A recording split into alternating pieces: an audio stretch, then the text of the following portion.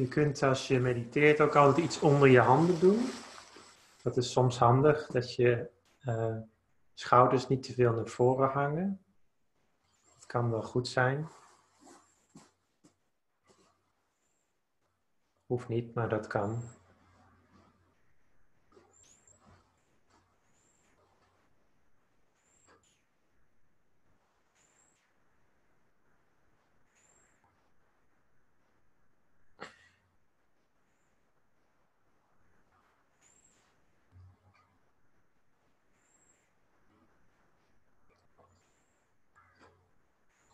Laten we dan even goed inademen.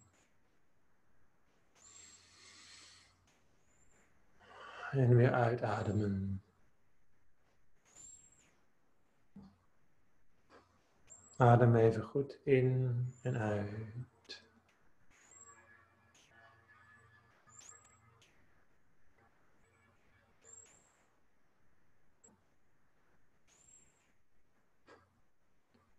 En terwijl je uitademt, dan voel je alle stress, alle onrust, voel je uit je lichaam vloeien.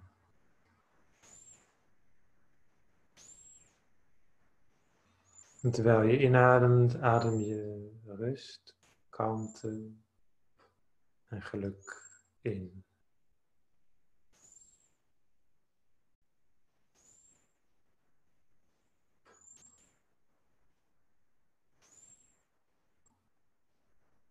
Laat je ogen helemaal zacht worden. Laat ze ontspannen. Voel de spieren rond je ogen ontspannen, tussen je ogen.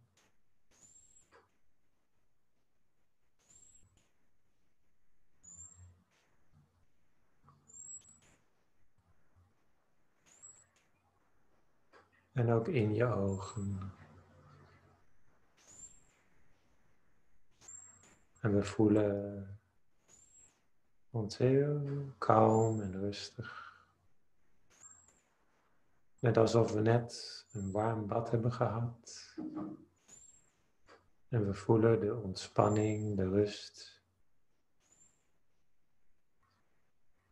Voelen we helemaal tot ons doordringen tot in elk deel van ons lichaam.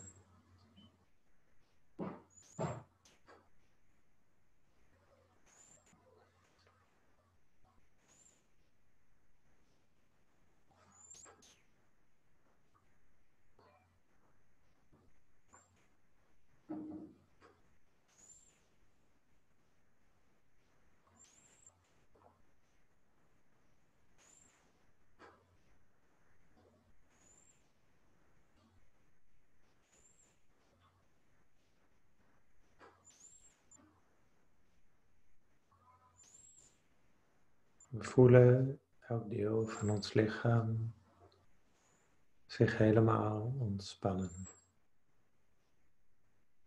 Van top tot teen.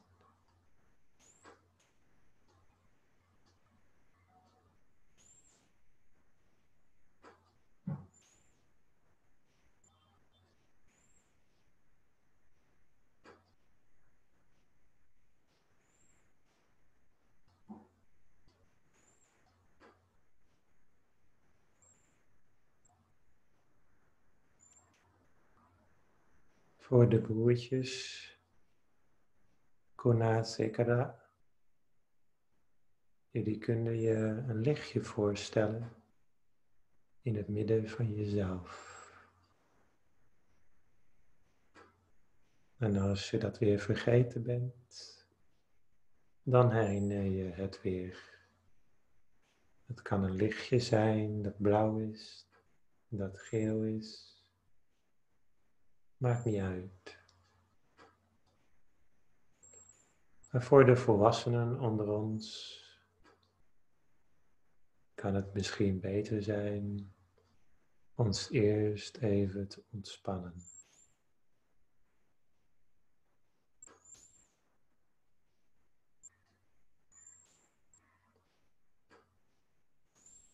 We geven onszelf tijd en de kans om ons lichaam helemaal tot rust te laten komen. We voelen de weldaad van de rust en ontspanning tot ons doordringen.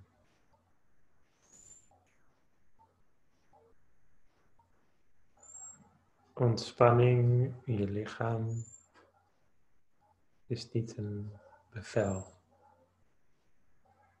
Het is meer een vraag.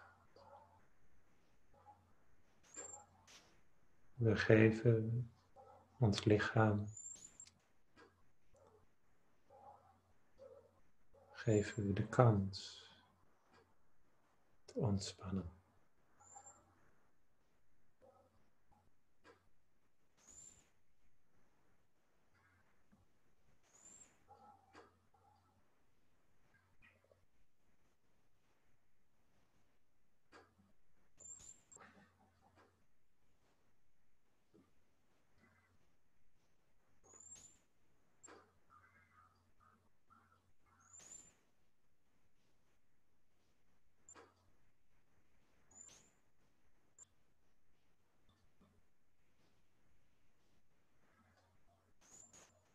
We kunnen soms het beste ons lichaam een tijdje met rust laten. En simpelweg ons bewust worden hoe ons lichaam helemaal passief wordt. En onze spieren beginnen te zakken. Het enige wat overeind blijft is onze ruggengraat, die alert, opmerkzaam onze rug recht doet zitten.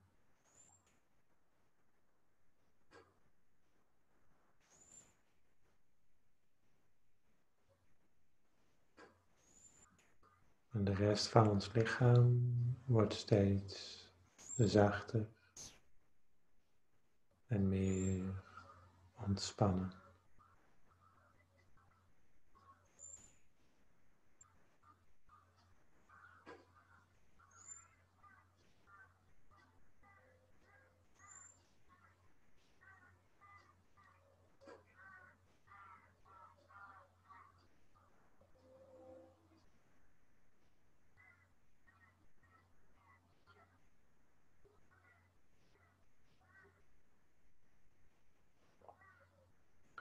Wanneer we ons lichaam eenmaal hebben kunnen ontspannen en een beetje hebben kunnen loslaten,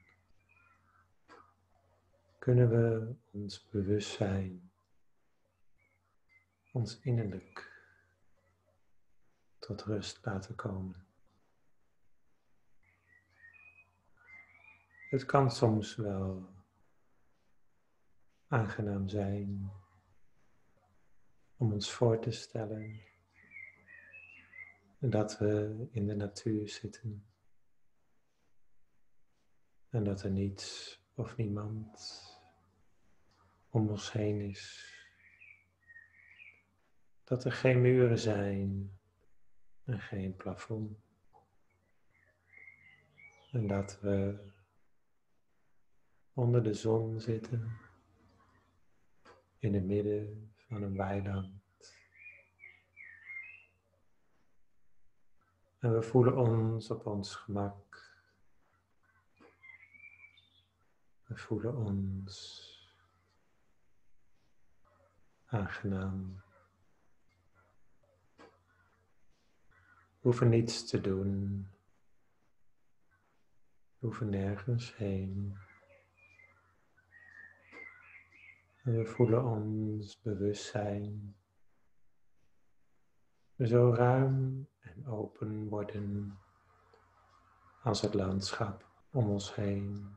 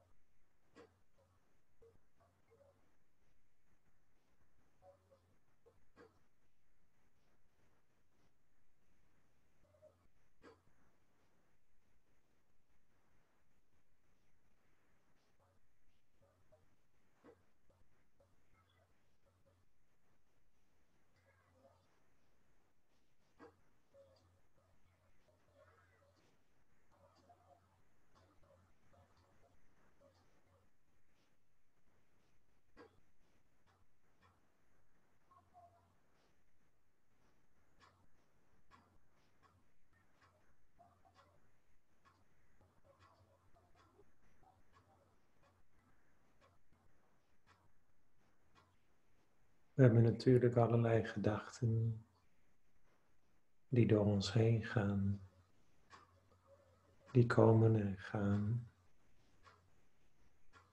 misschien wel ons afleiden. Maar als we ons afgeleid voelen worden, of als we merken dat we zijn afgeleid, beginnen we gewoon weer zachtjes en geduldig opnieuw. We kunnen ons ook voorstellen dat we onze eigen aandacht weer inademen. Want als we afgeleid zijn, voelt het vaak alsof onze aandacht buiten ons lichaam is. Dus als we onze aandacht weer inademen, dan zijn we weer terug in ons lijf, in ons lichaam, in het hier en nu.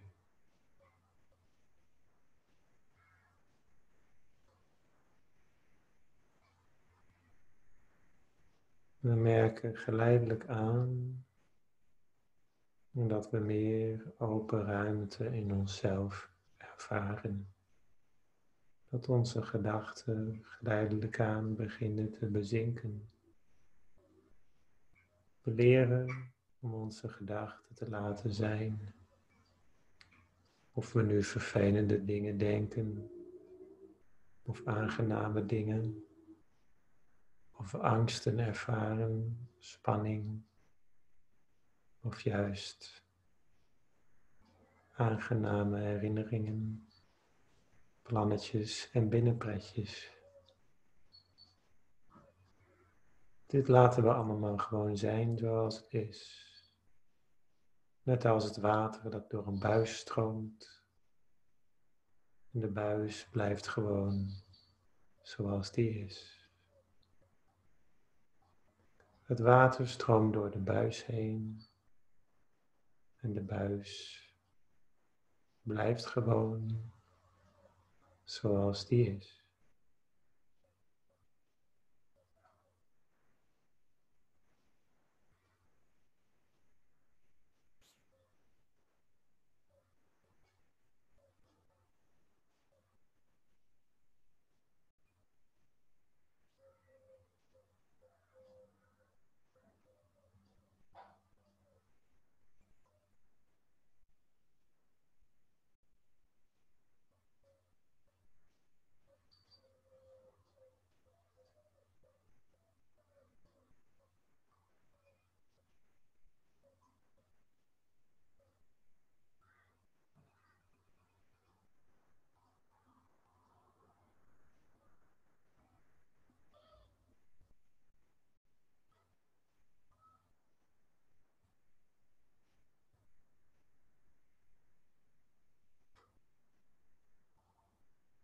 Hoe meer we van binnen ontspannen, hoe meer we ook merken dat ons lichaam zich ontspant.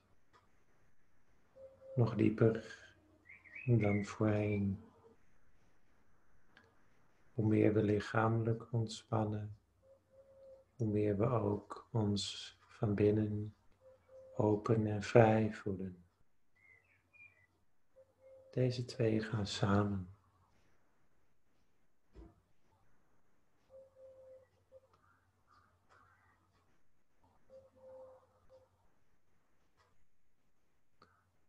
Laten we niet gaan worstelen om meer kalmte of rust te vinden. Laten we tevreden zijn met wat we nu ervaren en zijn.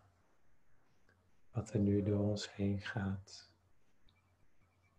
Want als we worstelen of zoeken naar een kalmere, rustigere versie van onszelf, dan zijn we weer in beweging gekomen.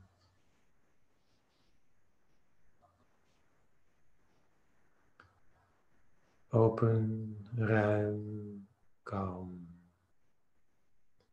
zijn we in het hier en nu.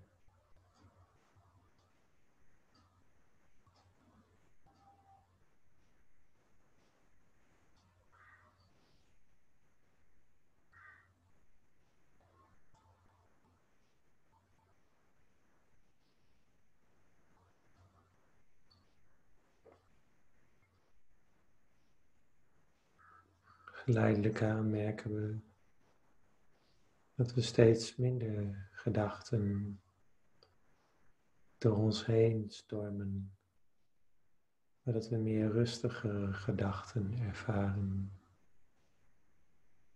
en meer onze gedachten geleidelijk aan bezinken. De ruis in ons bewustzijn wordt geleidelijk aan minder.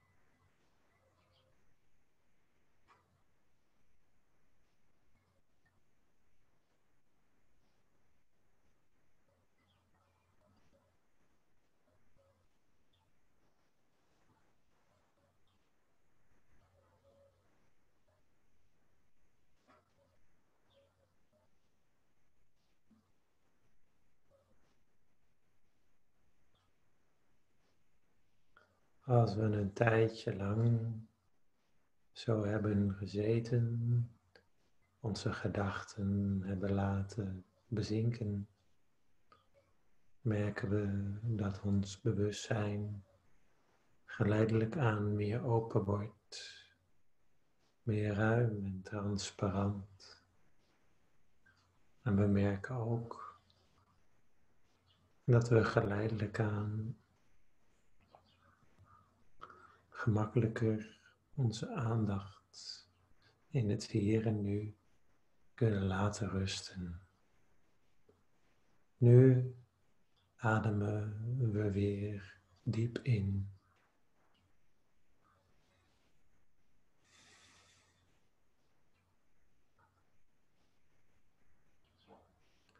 En we voelen onze ademhaling als het ware weer kaatsen in het midden van onszelf. Ademhaling gaat naar binnen en op een zeker moment gaat hij weer terug. En het keerpunt van de ademhaling is de middenruimte in onszelf. De middenruimte in onszelf. Daar worden we bewust van. Aan het einde van onze ademhaling. In het midden van onze buik. We voelen onze ademhaling daar naartoe gaan en daar weer uit vertrekken.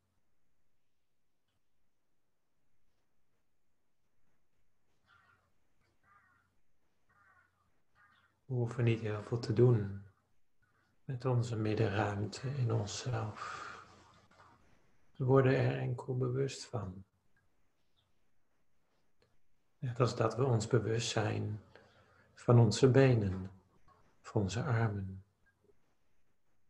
Zo worden we nu ons bewust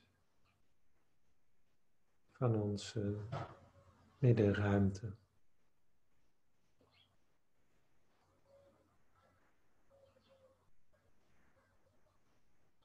En nu en dan bevestigen we weer het bestaan van de middenruimte in onszelf. Met een hele zachte aandacht. Zacht en zorgzaam. Open en zacht. Net als dat je heel zachtjes op een muis klikt. Op een computermuis. Heel zachtjes klikje. Heel zachtjes bewust worden van. We kunnen zelfs ervaren dat onze aandacht al in het midden is, zonder dat we daar iets voor hoeven te doen. Als we ons voorstellen dat onze aandacht al in het midden in de middenruimte is. Of dezelfde middenruimte deelt. Dan voelen we al dat we zijn gearriveerd.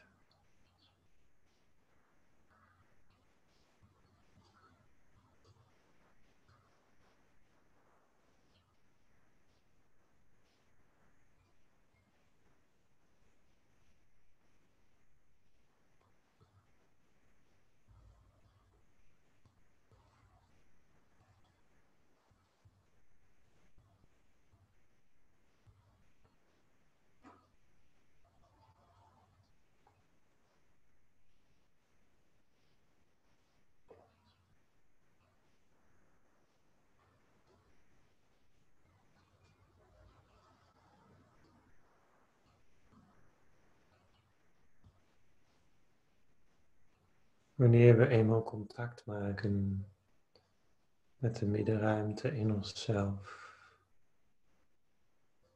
En we nu en dan onszelf eraan herinneren.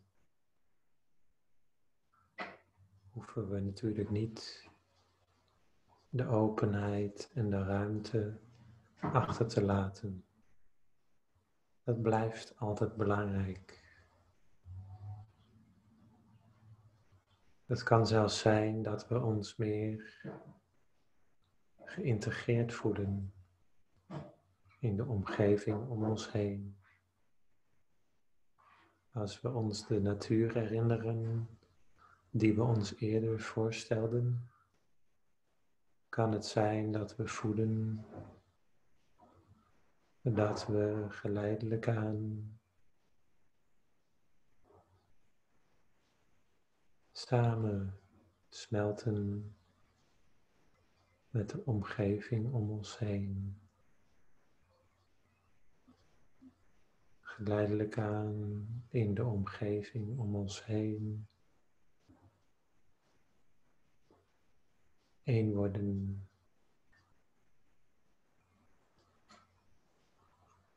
We voelen ons als het ware gedragen. Voelen ons als het ware geleidelijk aan meer een onderdeel van de omgeving om ons heen.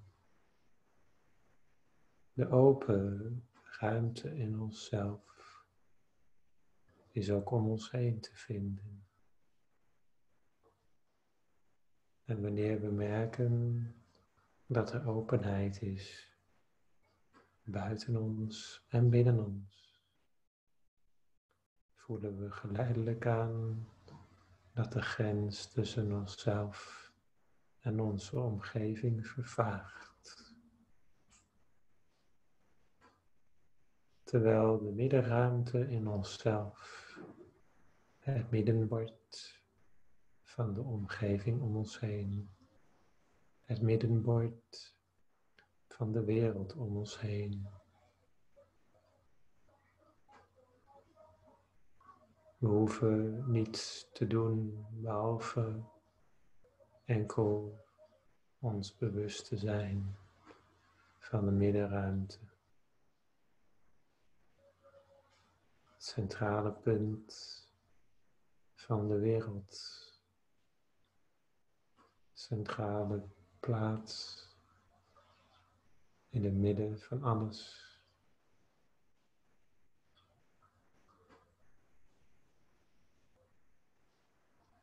Nu dat we eenmaal de middenruimte voeden als een midden van de wereld, hoeven we niets meer te doen.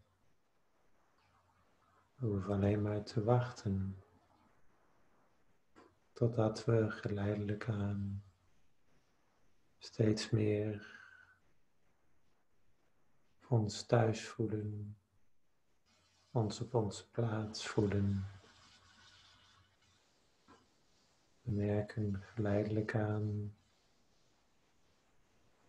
dat dat steeds meer zo voelt,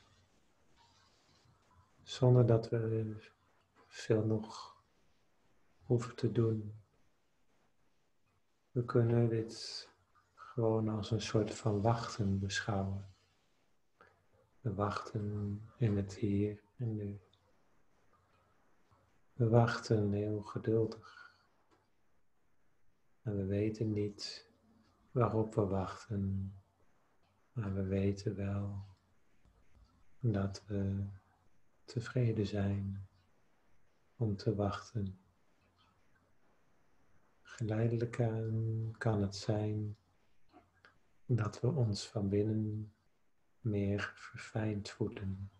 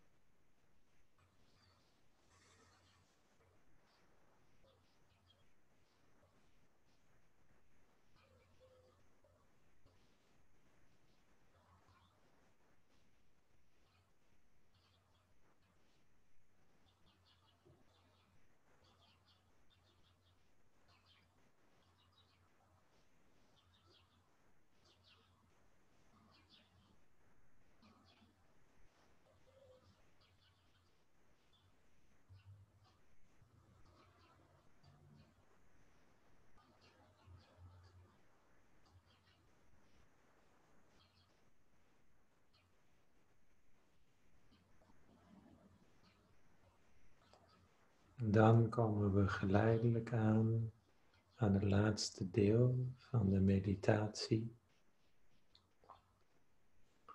We merken nog altijd dat we ons van binnen steeds meer verfijnd voelen wanneer we ons, onze aandacht of met onze aandacht klikken op de middenruimte in onszelf. We laten ons gevoel van innerlijke rust en kalmte over ons gehele lichaam, ons gehele bewustzijn verspreiden. Als we ons lichaam niet echt meer kunnen voeden, dan kunnen we ook ineens ons bewustzijn, ons bewustzijn verspreiden naar de wereld om ons heen. Hoe het ook zijn, hoe het ook zij, we beginnen met de wens die we voor onszelf koesteren. Dat ik gelukkig mag zijn, vrij van lijden. Deze gedachte herhalen we, herhalen we in onszelf. Dat ik gelukkig mag zijn, vrij van lijden. En we gunnen de rust, de kalmte, het geluk in de meditatie dat we nu ervaren. In welke mate dan ook, gunnen we onszelf. En dan laten we de kalmte en de rust los. Eigenlijk wil de meditatie altijd met anderen gedeeld worden. De energie van meditatie, die wil altijd los worden gelaten van nature. We laten de energie los en we geven iedereen om ons heen de kans, ook de rust, de kalmte, de weldaad van meditatie te voelen. En terwijl de rust, de kalmte, de weldadigheid van de meditatie naar alle richtingen zich verspreidt, zich verbreidt, zich uitdijt, merken we op hoe de mensen die we lief hebben om ons heen allen ook het geluk, de rust, de kalmte kunnen ervaren van meditatie. En dan herhalen we de gedachte in onszelf dat iedereen om me heen gelukkig mag zijn, vrij van lijden. Het is net alsof we glimlachen naar de wereld om ons heen en het beste van onszelf sturen naar de ander. Dat ik zelf en alle mensen om me heen gelukkig en gezond mogen zijn. En dat er niemand meer ziek mag zijn, maar dat iedereen gelukkig mag zijn en gezond. En dat ieder die nu ziek is, dat zij snel weer beter mogen worden. Energie en weerbaarheid kunnen vinden in momenten van nood. Dan laten we de aandacht zich verspreiden over de hele wereld om ons heen. En alle mensen die we kennen en niet kennen, die we mogen en zelfs niet mogen, dat iedereen gelukkig mag zijn, vrij van lijden. De energie van de meditatie die we geleidelijk aan hebben kunnen voeden, verspreidt zich nu.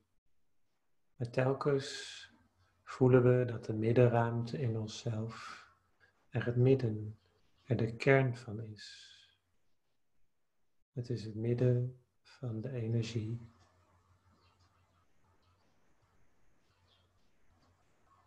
Alle mensen om ons heen die we kennen en niet kennen, van welke afkomst, van welke achtergrond dan ook, van welke leeftijd, die dan ook. Zelfs de dieren in de wereld. Vis, vogel, zoogdier. Iedereen gelukkig mag zijn. En alles.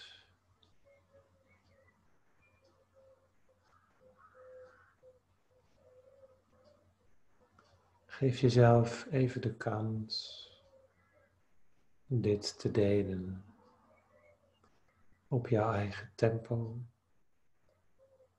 in jouw eigen ruimte met een glimlach gericht op jezelf en de ander. En ook al is het zo dat deze meditatie niet meteen de wereld zal veranderen, toch is de wereld al veranderd, want wij zijn al veranderd. En wij zijn een deel van de wereld. In de woorden van Nompata Machayo, onze leraar en abt in Thailand.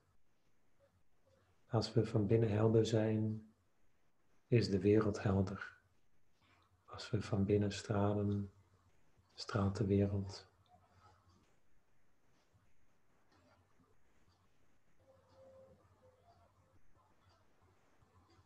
Nu komen we geleidelijk aan het einde van de meditatie. We merken op dat we ons steeds meer bewust voelen worden van de geluiden om ons heen. Misschien de buren of misschien een auto, een enkele auto op het wegdek. Misschien horen we de geluiden van de vogels. En we voelen ook we voelen de mat waar we op zitten. We voelen de temperatuur om ons heen. We voelen onze handen. Zo kunnen we ook ons bewust worden van onze geur, van de geur,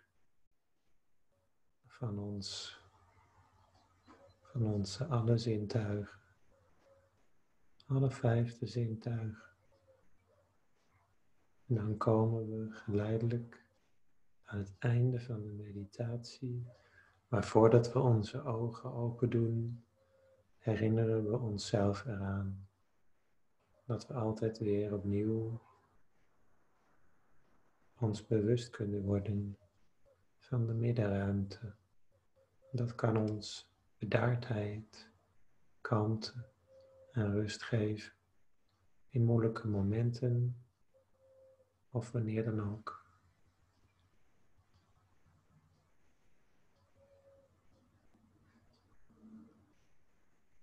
Dan doen we geleidelijk aan onze ogen open aan het einde van de meditatie. En ik zal eindigen met een traditionele tekst die altijd wordt uitgesproken in onze traditie aan het einde van de meditatie.